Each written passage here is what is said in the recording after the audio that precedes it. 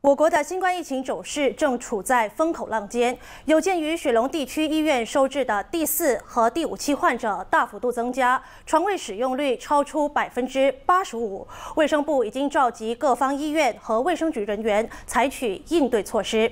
为了添购，除了添购医疗器材、增设加护病房床位，当局也扩大外包措施，转介非新冠患者到私人医院，以舒缓公立医院的压力。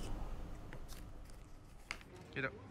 卫生部部长拿督斯里阿汉巴巴早上深入柔佛边加兰巡视设在丹种本戈利的苏丹伊斯麦陆军基地疫苗接种中心后透露，根据政府和公立医院以及大学附属医院，包括万宜国立大学儿童专科医院、沙登伯特拉大学教学医院以及马拉公益大学医院达成共识，增设加护和普通病房的床位和设施，并且调动外地医护人员到人手。短缺的医院资源。Memberi penugasan semula ataupun mobilisasi secara sementara kepada petugas kesihatan iaitu pakar perubatan dan anggota paramedik dari negeri tertentu bagi menyokong perkhidmatan hospital PKM dan hospital pengajar universiti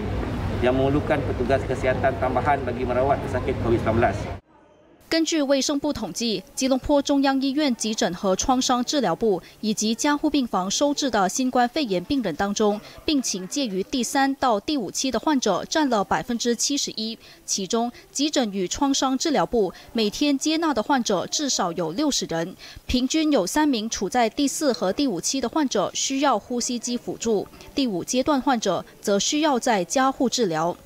为了进一步减轻定点医院的负担，当局将会把病情较轻的病人转介到其他医院，同时号召志愿工作者，例如卫生部培训学院旗下的护士专业准毕业生，接种疫苗后加入辅助阵容，以填补接种和筛检中心部分护士调派到前线后留下的空缺。